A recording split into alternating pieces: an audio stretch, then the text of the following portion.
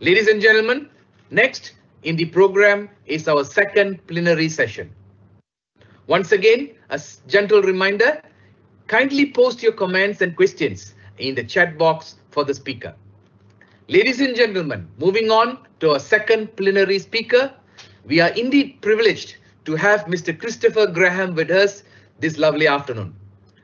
Mr. Graham holds a degree in politics from Warwick University, Cambridge Delta, and is a fellow of the Royal Society of Arts.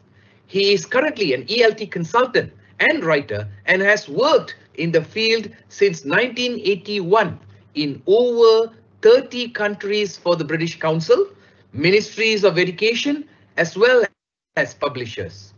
In 2020, his projects have included working on approaches to the digital provision of ELT during COVID-19 in fragile locations and delivering a large-scale professional development program online for the British Council.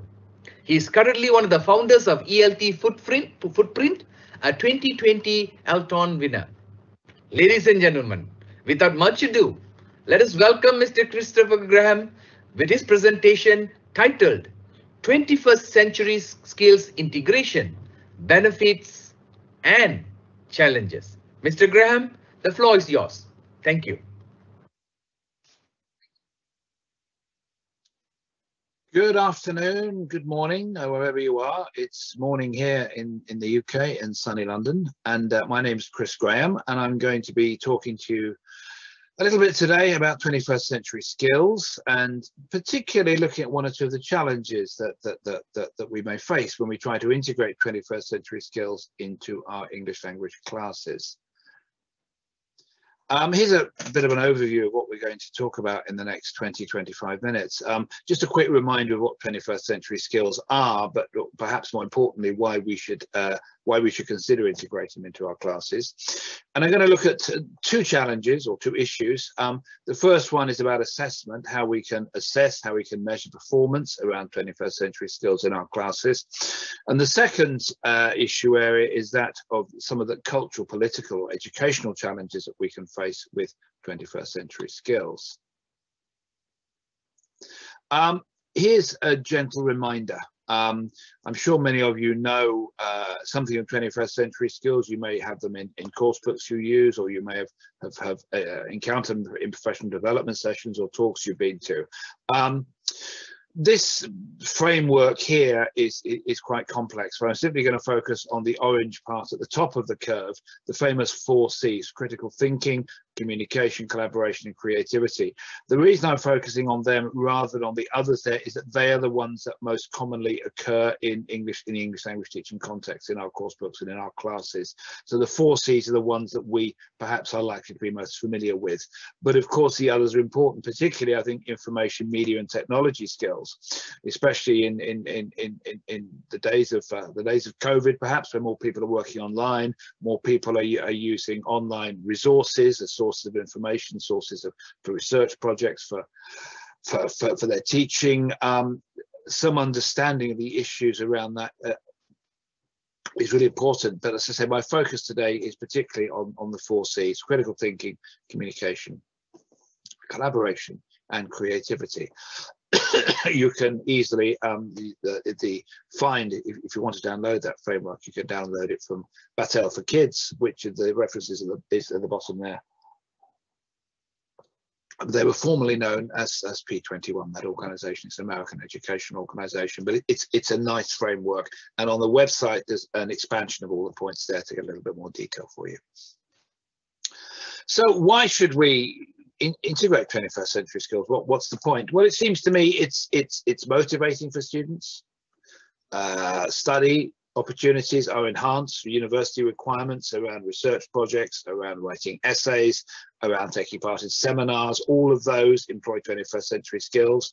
Um, of course, employers, job finding, seeking employment, 21st century skills are very, uh, very aligned, let's say, with, with, with, a modern workplace. Um, and the digital world. Um, we, as, as, I mentioned before, more and more have been spending more and more time online uh, as, as, a result of COVID for our, our, daily work. So the the ability to to look at information online with a critical eye is, is, is, a, is a useful one, I think, for, for, for, for students of all ages. And uh, finally, I put on the bottom there, um, there are more and more crises in the world at the moment. It seems to be seems to be getting worse. We have the climate emergency. We have COVID-19. There's a lot of things to worry about. Critical, uh, critical thinking, communication skills, collaboration skills are needed more than ever, I think, in the 21st century world. So I think they're very important things that we can integrate into our activities for uh, for our students to uh, to try out, to become familiar with, and ultimately to put into practice. The first issue, as I said, is that of assessment. A couple of questions to think about. Should we assess 21st century skills at all? I mean, it's not strictly always part of what we teach. We're English teachers. Of course, we need to assess progress in English, ability to communicate in English. We do that arguably in every lesson, every week on a regular basis. We're assessing, we're measuring. Have they got it? Do we need to go back? Do we need to look at it again? Now that's fine, we can move on. We all do this all the time in our minds. Um, 21st century skills? Not so much. They're not always in our lessons. And anyway, should we be trying to assess them? And related to that is the second question, should we assess 21st century skills as, as they are or as part of the language process? Um, maybe we should think about assessing language on one side and assessing 21st century skills on the other side. I don't know. It's an interesting question, something that we need to consider if we think we're going to assess them at all. Um, so the arguments. The arguments for assessing 21st century skills say that it makes them uh, more credible, gives value to them. I've got a certificate, I've got a grade, um, and students respond to that. It's, it's, it's more motivating for students, more stimulating for students if they're assessed. And ultimately, it makes them appear more serious. Students will often think, well, well if, if, there's no test, if there's no certificate, this isn't a serious thing. No, no, no, I don't need to think about this. So it makes it seem more serious. So those are two arguments for assessment. And equally, um, formative assessment, you know, assessing for our benefit as, as, as, teachers to understand what students have understood, what they haven't, what they need to develop, what they're okay with. Um, formative assessment of 21st century skills will help us to develop our teaching strategy um, to support students as, as it does with, with, with English teaching. How can we teach English if we're not using formative assessment, if we don't have some understanding of the advances that students are making or not? which allows us to, to, to gauge our teaching and, and adjust our teaching. So maybe it's the same for 21st century skills. And it motivates, particularly in more exam driven cultures, students like to be tested. It's a habit. We want an exam on in this. We want to be tested in it. We want a certificate. We want to know we got a grade. So yeah, that, that's an argument probably for it. However, there are counter arguments no to assessment for 21st century skills. Uh, one argument is that many of the 21st century skills are linked to personality or character. For example, communication skills often require standing up, maybe speaking to a group of a small group of people, speaking to the whole class, uh, doing what I'm doing now, taking part in online meetings. And the challenges around that and the measures of success are perhaps as much around personality or character as much as they are around the skills. Not everybody is able to stand up in front of a group of people and speak in, in any language, in their own language. They just can't do it because of their character. It's not a criticism, it's just a fact. So maybe it's unfair, therefore, to try and measure that. Um, and anyway, do we as language teachers have the tools to assess 21st century skills in any meaningful way? Possibly not. We, we, we're not bad at assessing language. We're not great at it, but we're not bad at it. We have a lot of practice at doing it. Um, 21st century skills, maybe less. And as I say, um, character, personality, self-confidence, these things are very much part of many of the 21st century skills. And they're actually nothing to do with language. As I say, um, some people would not be able to speak to a meeting of, of 300 colleagues in their first language or in English because it's nothing to do with the language, it's to do with their character. Um, so sometimes it's, it's questionable whether we're able to, whether it's even desirable to assess 21st century skills. Um, and it's complicated because we have some that are 21st century skills that are language specific and language dependent and some that are not. For example, problem solving is a very, very common part of 21st century skills activities. Students collaborating together in a group to find a solution to a problem. Now, do they find that solution because of their English? Or do they find that solution because of their 21st century skills? Is it a combination of the two? Are we seeing 21st century skills in action when they actually change out of English into their home language and start talking about the problem? They're still using 21st century skills, they're just not using English. So they're very mixed up, so it's difficult to separate them forensically to be able to measure them. And as I say at the bottom there, a student with a poor level, a low level of English, maybe the most active in a collaboration, gesturing, really positive. What do you think? Really active. Okay, I understand, I understand. Their language level may be low, but the 21st century skills, if you wish, are of a high level because of their character. So that makes assessment absurdly complicated, especially as we are essentially English teachers. That's that's the job that we're paid to do. So it's a very complicated thing. And we have also to think about, and this is important, I think, 21st century skills are appearing on the back of there's loads of books behind me lots of it, those books are english language course books and on the back of those course books it very commonly says 21st century skills. And what worries me about that is that success in english is very closely connected now tied up with 21st century skills. And students who are shy less confident who don't feel able to speak out publicly to to collaborate easily in groups um, may feel socially anxious students, as I call them there, may feel left out and may feel they're they're losing their position in the class. So it's it's it's something we need to be very careful about actually. And another issue is if we do decide to assess 21st century skills, how do we benchmark them? How do we grade them? Uh, because in my opinion, the way people use or not 21st century skills are very often products of their home culture. They're transferable from their home environment. So it's very hard to, to compare, let's say, some Malaysian students with some students from Sweden because the home cultures, the learning cultures, the way that, that the discourse that people have, the way people work together in groups are different in those two countries. And we're trying to compare them. So what benchmarks do we have? It's very concerning, I think. And here's an interesting quote here. And the references, by the way, are, are on the final slide. Um, I say some skills can't be easily measured in quantitative terms. How do you measure collaboration? And I can measure English ability. I can say this person is C1, this person is B2. I can kind of do that. But how do I measure collaboration? How do I measure innovation? It's very hard to do. So what can we assess? Well, it, we can assess some things, in my opinion. It seems we can assess the process that students go through or the result and I think the process is, is, the important part. I remember when I was, was was was learning mathematics at school, I was actually very bad at mathematics, but I remember the teacher would ask us to show our workings, to show the calculations, because for the teacher it was as important the process that we went through in the maths as the result was. We might actually get the wrong answer, but we used a good process, and he could see, ah, that's where they went wrong. That's why they got the wrong answer. But generally, the process was good, and so I, I think looking at the process of collaboration.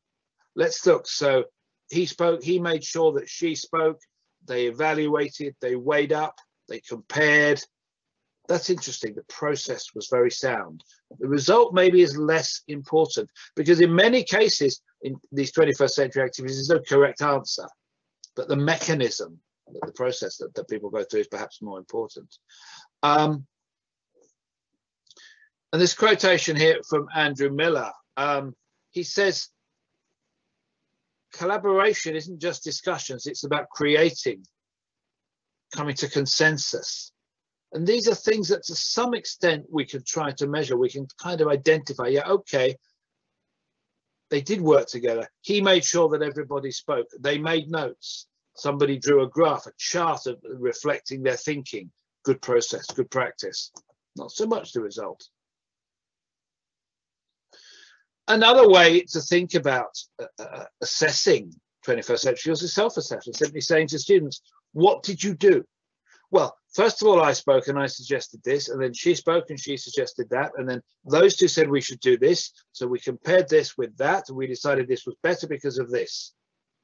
That's quite interesting, isn't it? Because students are actually being asked to think about their processes of, of collaboration, of communication, the processes of critical thinking, they're asking, they're telling us what they did.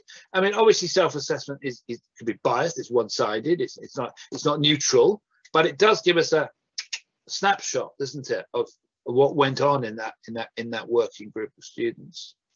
Um, another thing might be to do might be just multiple choice. I don't know. It may just be, did you do this, this, or this? We did this, but then with a justification question, we did this because of this. So multiple choice can be a way of helping us to understand the process. But if we add a justification question, we decided to do this, we talked about this because. So it's multiple choice plus, I'd call that, sort of enhanced version of multiple choice. Um, so we've got peer assessment and description of processes, the idea of students describing each other, whatever what other people did. And I like this idea of live describing. If you have a group of say six students, you have five of them working together, and one of them is an observer and a describer. The describer. So now they're talking about this. First of all, they assess that. Now they're moving on to assess this, and they're comparing it with that. That's interesting, a live description of the process as well. And the other thing, of course, is, is, is teacher observation, um, where the teacher sits and watches. You may just be thinking about the process, you may be thinking about the language, or you may be thinking about the language and the process. But sitting and watching a group working, or from a distance watching a group working, will tell you to what extent they are applying 21st century skills good practice. An example here, you see, you would have uh, a problem solving activity. So what the one of the students would would report, we looked at this, we did this, we did this, we did this, uh, explaining what they did.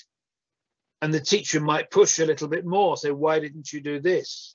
don't you think about what, what don't you think that's important? Or maybe you should have to also inspire discussion it's just a way, as I say, of getting the snapshot of how the group worked together.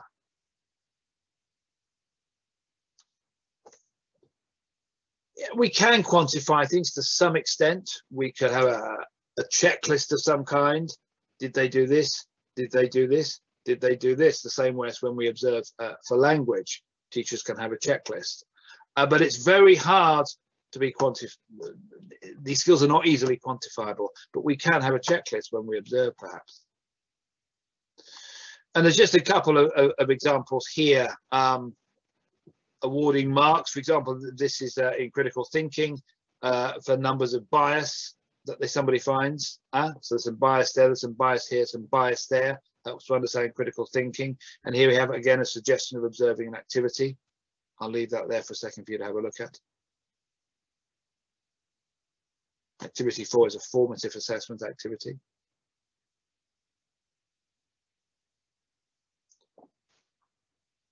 There's another one there. As I said before, having an observer and a describer and describer and a writer who describe to you what happened in the activity. It's the approach that I mentioned before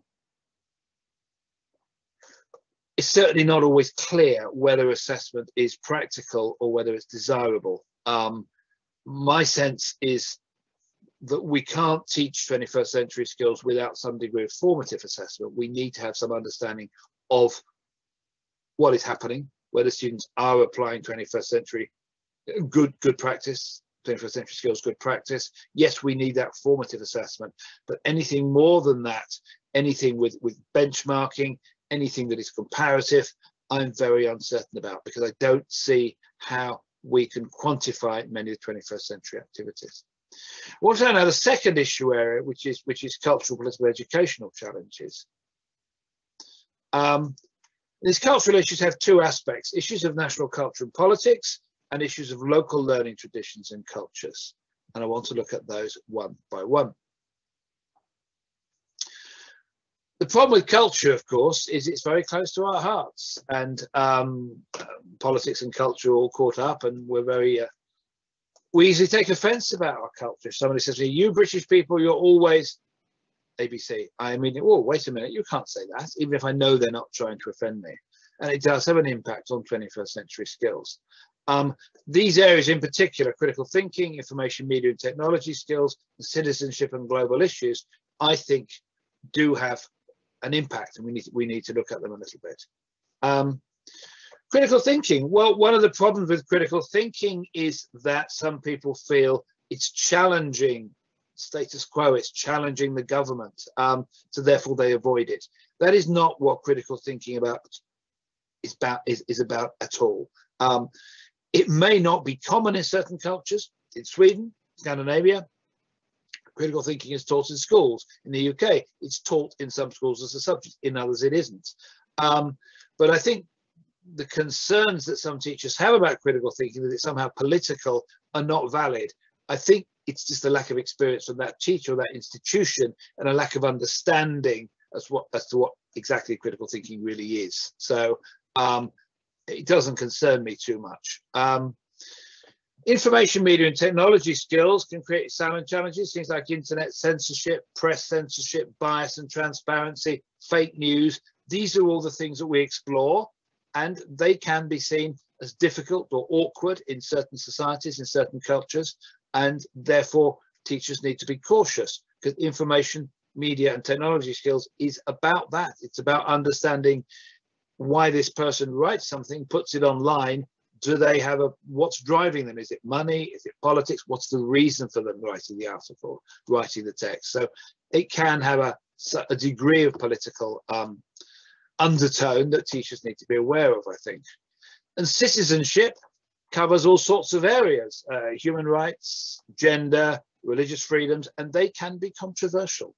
So again, teachers need to steer their way around that in the way that only a local teacher knows. I trust local teachers to know ways of managing things. Experienced local teachers know that very well. So um, citizenship, I think, needs to be embraced, needs to be discussed. But as I say, in certain cultures, people need to find a way around it. That's absolutely fine, I think.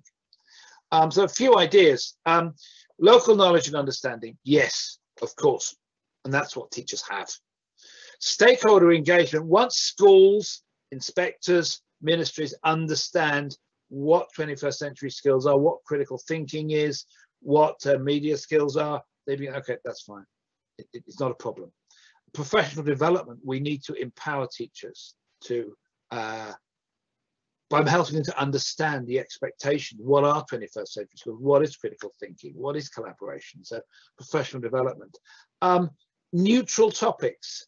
Yes, in principle, neutral topics are a good idea.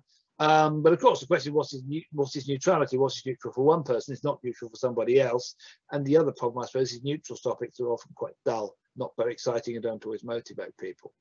So um, I think big topics, abstract topics are good because they can't be seen as any political issues around them at all. And I would say very local or very global topics. So either make something very global or very local. And I've got an example there about improving public transport. It's not particularly controversial, but it will have a strong connection for students and will engage students doing some critical thinking. Well, we could have more buses at this time of the day, or maybe if we took funding from here, we could have money to build a metro system or tram system. Um, these are local or national topic, uh, lo local topics, not national topics. So I think that's a good way to manage any controversy around the 21st century skills, particularly critical thinking. Um, and I also think the good thing about local topics is students tend to have an effective or emotional engagement with them. They're interested in it, means something, it has a connection to them, authenticity. Students have to get buses to school every day. If the buses are crowded or late or dirty, it matters to them. If they can have more buses or they can have newer buses or trams or something, they'll engage with that. Um, so we can make 21st century skills very highly learner-led and thus engaging. And I got an example here um, about uh, environmental, on the environmental side, uh, a carbon footprint calculator. And they can, students can calculate their environmental footprint from their household. It's nothing to do with, with, with global or national, it's their personal footprint and they can they can do it online. And these kinds of things, effectively local issues, I think are very sensible.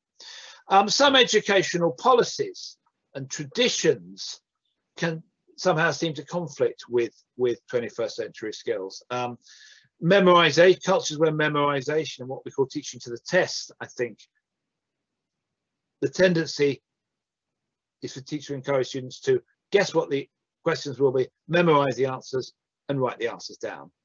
That is the antithesis, the exact opposite of 21st century skills where we want to see creativity, innovation, critical thinking. So sometimes there can be, it can be difficult to get that fit between a local educational culture and 21st century skills. Uh, so I think that's quite important. And part of that um, also coming from local culture. 21st century skills, communication particularly, often requires, as I said before, people to stand up and speak to the class. It's a fear of public performance, sense of face, you know, I can't do that. No, no, no, no. People might laugh at me, or, or natural modesty can be issues there. Um, perceptions of teacher roles is certain cultures are, are, are very teacher centric. The teacher is quite dominant can't be challenged easily. Again, that is the antithesis of 21st century skills.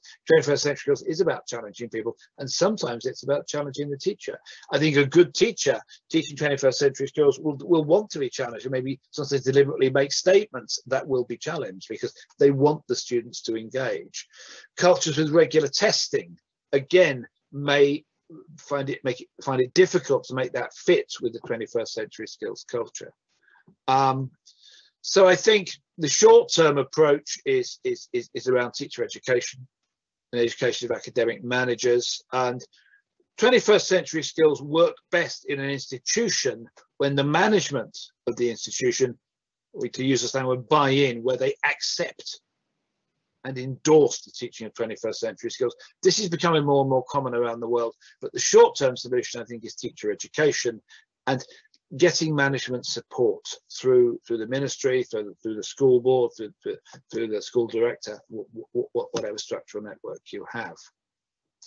Uh, the references are there, and uh, I'll make sure that you get copies of the slides so you you, you can find those sources.